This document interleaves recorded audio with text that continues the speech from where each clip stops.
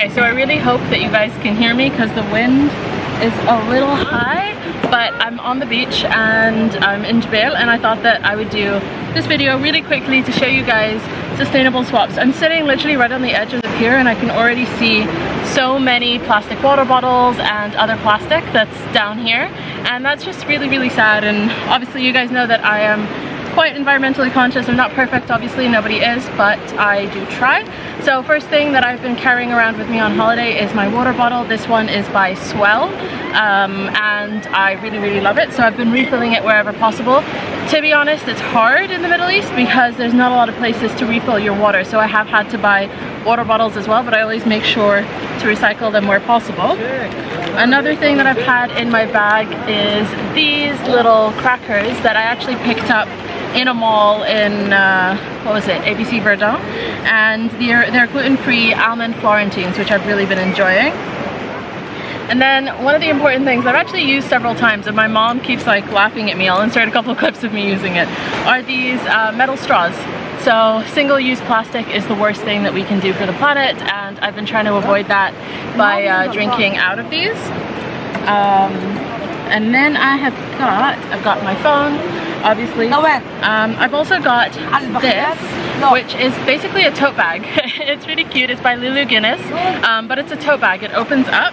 I'll show you guys really quickly.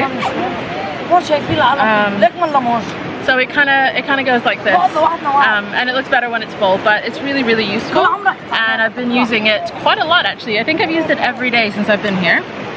Um, I've got my glasses. I've literally just finished these, but this little pouch had my salted maple pecans. I will put the um, YouTube video up here for you and I'll link it down below for the post. Uh, what else do I have? I've got some tissues. I've got my camera case. That's not really relevant to you guys though.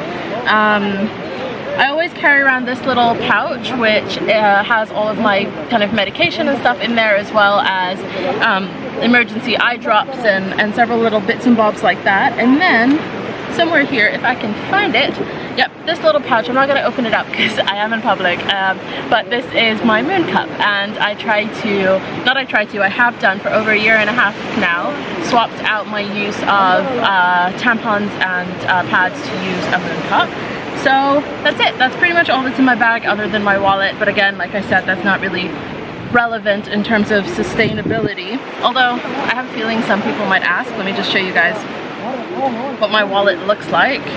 It is this tiny little one by Loewe and then I have my cards on the other side and my money um, my money in the middle and that is pretty much it. The bag itself, I don't normally carry this actually. My favorite bag is the Gucci uh, Soho bag, but on holiday I've been carrying this and it is a Rebecca Minkoff bag. It's pretty old.